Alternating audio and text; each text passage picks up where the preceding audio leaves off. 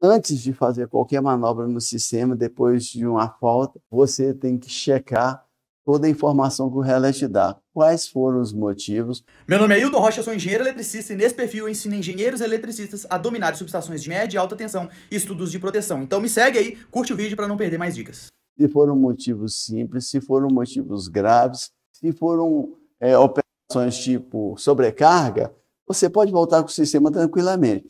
Mas se foi é, uma operação por condição instantânea, você tem que analisar se isso ocorreu fase terra, investigar todo o sistema baseado no que o relé vai te falar. Ele vai te dar informação de qual a amplitude de corrente que aconteceu, onde foi. A oscilografia vai te informar o que, que aconteceu antes até o sistema atuar. Engenheiro, gostou do vídeo? Me segue aí para não perder mais dicas.